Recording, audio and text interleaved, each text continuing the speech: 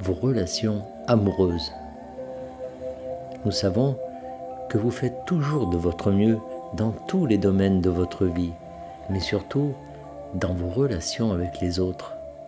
Il se peut que vous soyez dur avec une autre personne avec laquelle vous êtes en relation parce que vous êtes dur avec vous-même et parce que quelqu'un d'autre ou plusieurs personnes ont été durs avec vous.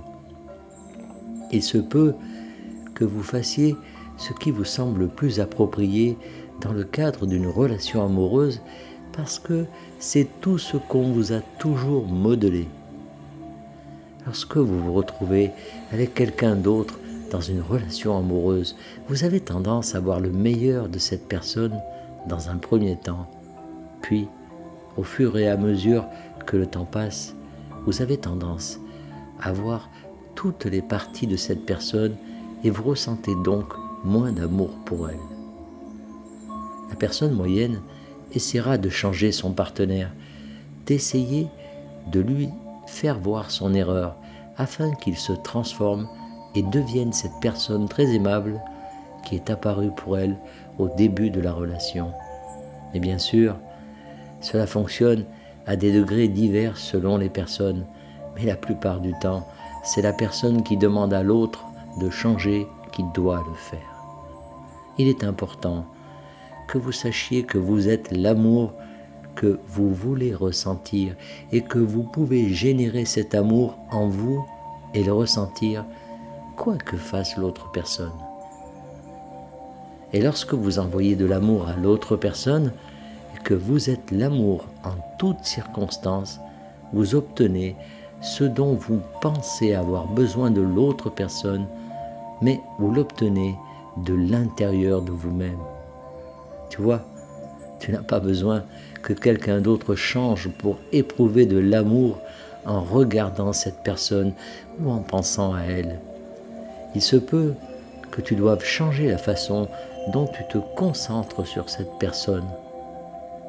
Vous devrez peut-être décider sur quoi vous concentrer lorsque vous pensez à cette personne, mais vous n'avez pas besoin que l'autre personne se perfectionne pour que vous puissiez lui offrir votre amour inconditionnel.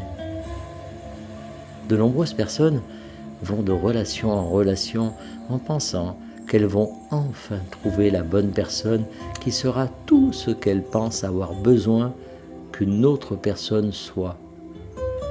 Il est important de s'accepter et de s'aimer tel que l'on est, et il est tout aussi important de le faire pour toutes les personnes qui font partie de votre vie, qu'il s'agisse d'une relation amoureuse ou non.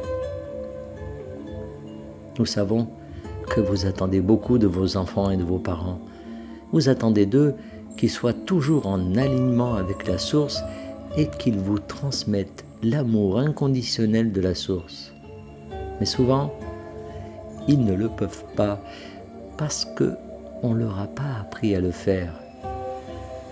Lorsque nous vous disons d'aller à l'intérieur de vous et de générer l'amour que vous êtes vraiment, c'est ce que nous essayons de faire. Nous essayons de vous enseigner comment trouver l'amour que vous êtes vraiment, afin que vous puissiez l'être et le ressentir en toutes circonstances et avec toutes les personnes. Vous ne demanderez plus à personne de vous compléter ou de vous aimer inconditionnellement.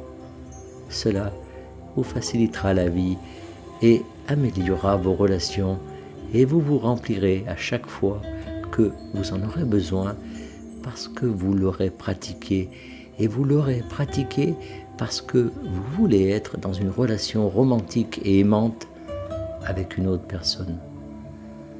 En fin de compte, cependant, vous voulez commencer à avoir cette relation avec vous-même.